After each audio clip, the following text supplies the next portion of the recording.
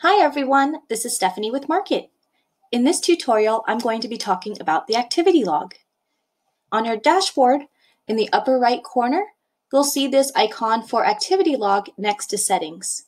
Once you click this, it's going to take you to an overview of everything that's happening on your account. So here's all the details. Here's who the activity was done by, where it was done. So this one was done on the app, this one was done on the desktop version, and then the date and the time.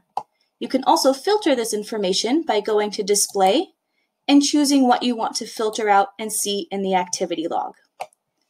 Once this information is loaded, you can always search for a specific data entry or estimate number. So this is a really easy way to keep track of everything going on in your account. Thank you so much for watching. I hope you have a great day.